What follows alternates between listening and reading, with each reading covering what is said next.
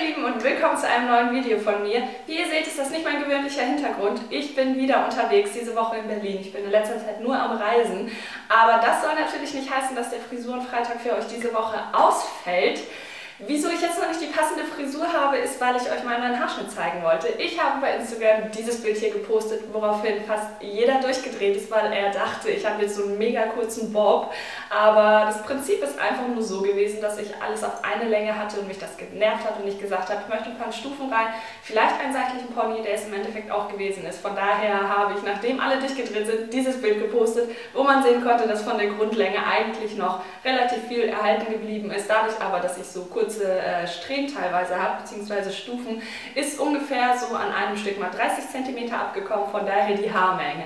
Ich bin ganz zufrieden, obwohl es mich ehrlich gesagt wieder ein bisschen jünger aussehen lässt, was ich nicht so gut finde, denn ja, irgendwie, ich weiß auch nicht, wollte ich davon ein bisschen wegkommen, weil ja, es mich ein bisschen stört, aber ist egal. So ist es nun mal. Mir gefällt es für den Sommer und in drei Monaten spätestens wird es wieder ganz anders aussehen. So, aber weil es heute um was ganz anderes gehen soll, werde ich euch die heutige Frisur natürlich nicht vorenthalten. Deswegen, ähm, ja, klicken wir einmal direkt zu ihr. Also, das ist die heutige Frisur, die ich euch nachmachen werde. Sie ist inspiriert von Taylor Swift und ich finde sie selber besonders für den Sommer, Frühling äh, wunderschön, aber auch für alle abendlichen Anlässe. Von daher hoffe ich, dass sie euch gefällt und ihr dran bleibt. Im Anschluss kommt dann wie immer das Tutorial. Ich werde mir jetzt mit meinem Kamm die obere Partie hier abtrennen, damit ich gut an die unteren Haare komme, aus denen ich dann eine Flechtung mache. Dafür verwende ich eine ganz normale Haarspange. Gehe hier einmal mit dem Kamm rein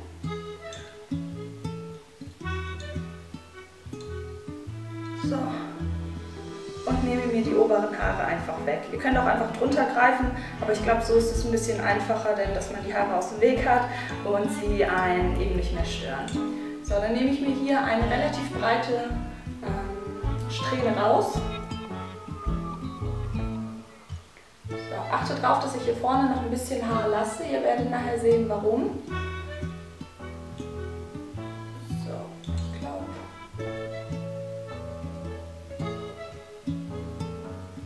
Glaube, das müsste reichen. Gehe einmal mit den Fingern durch, damit keine Knoten drin sind und fange jetzt an, die ganz normal zu flechten.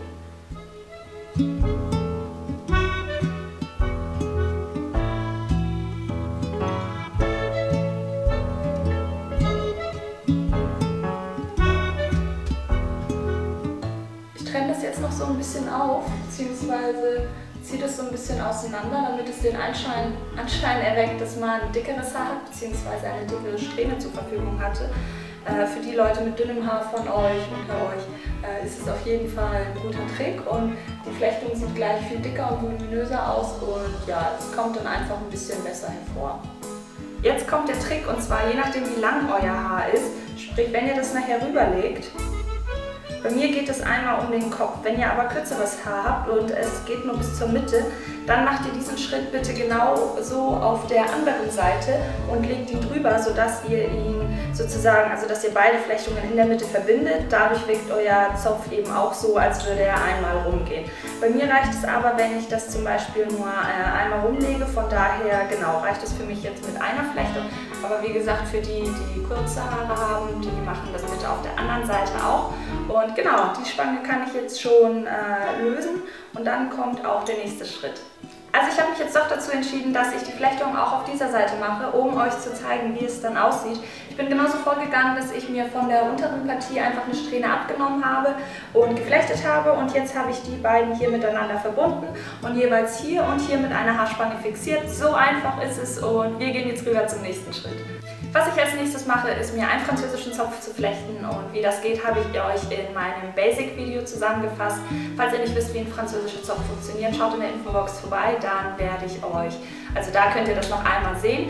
Ich gehe jetzt wie folgt vor, dass ich alle Haare dafür verwende und einfach von dieser Seite nach hinten hin einen französischen Zopf flechte.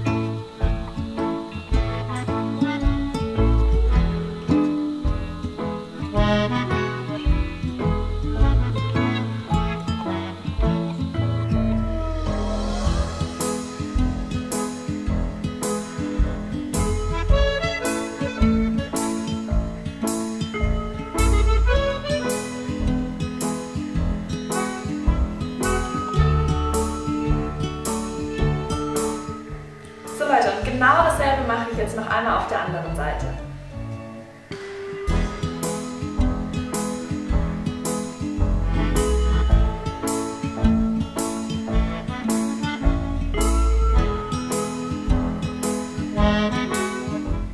Also, ihr habt beide Seiten geflochten. Supi, dann kommt auch schon der nächste Schritt und dafür werde ich mich einmal für euch umdrehen. Also das, was ich jetzt mache, ist einmal die geflochtenen Zöpfe, so wie ich gerade möchte, um meinen Kopf bzw. an meinem Kopf zu fixieren. Das heißt, ich gehe einfach von der Seite, von der sie geflochten wurde, einfach zur gegenüberliegenden Seite und gehe dann wieder zurück. Je nachdem, wie lang eure Haare sind, müsst ihr natürlich entweder öfter oder weniger oft hin und her mit eurer Flechtung gehen. Bei mir ist es so geworden, dass ich einmal hin musste und einmal wieder zurück, um dann das Zopfgummi zu verstecken. Da ich leider nicht zu Hause bin, habe ich nicht meine kleinen Durchsichten durchsichtigen Zopfgummis, sondern diese großen schwarzen, bei denen ich mich natürlich mehr bemühen muss, sie zu verstecken. Aber wenn ihr meine Videos verfolgt, dann wisst ihr, welche ich meine, beziehungsweise welche ich immer benutze. Falls ihr solche habt, wird es euch natürlich sehr viel einfacher fallen, sie zu verstecken. Oder ihr lasst die Zopfgummis ganz weg und lasst euren Zopf sozusagen offen auslaufen und fixiert ihn dann einfach mit einer Haarspange unter einem anderen Zopf. So habt ihr gar keine Probleme, irgendwelche Zopfgummis oder Bänder verstecken zu müssen. Und das war's mit der Frisur. Ich hoffe, ihr konntet es gut nachvollziehen und könnt es jetzt selber an euch oder an euren Liebsten anwenden. Im Anschluss kommt nochmal ein Rum- und und da könnt ihr nochmal ganz genau sehen, wie die einzelnen Strähnen miteinander verfließen bzw. von wo sie überall herkommen.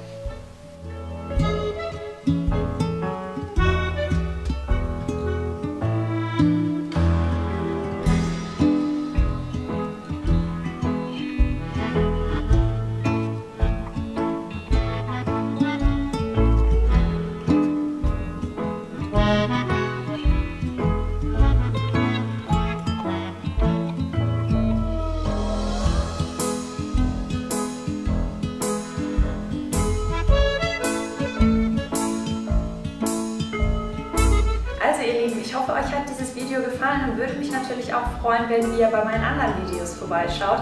Hier unten in der Ecke sehen wir einmal meinen Frisurenfreitag, den ich bei der lieben Jacqueline gemacht habe. Und hier in der Ecke sehen wir einmal meinen anderen Frisurenfreitag, den ich bei mir selber gemacht habe. Ich würde mich freuen, wenn ihr das nächste Mal wieder vorbeischaut. Schaut auch hier in meinen anderen äh, Social Network Seiten vorbei, wie Twitter, Facebook und alles andere. Da poste ich täglich Bilder oder Dinge, die ich gerade so mache. Von daher würde es mich freuen, wenn ihr mir da folgt oder wenigstens vorbeischaut. Wir sehen uns dann beim nächsten Mal. Bis dahin, wie immer, alles Liebe. Ciao!